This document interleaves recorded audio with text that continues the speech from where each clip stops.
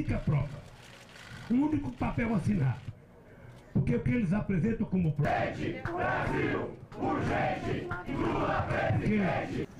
Lula, com 71 anos de idade, próximo de fazer 72, disposto a brigar do mesmo jeito de quando eu tinha 30 anos. Com mais experiência, estou tomando vitamina de manhã, estou fazendo ginástica todo dia. Sabe? Então me espere. Quem acha que é o fim do Lula vai quebrar a cara, porque somente na política quem tem o direito de decretar o meu fim é o povo brasileiro. O presidente Lula, vou passar a palavra ao doutor Cristiano. Em nível nacional, essa resistência, formada pelos movimentos e pelos partidos.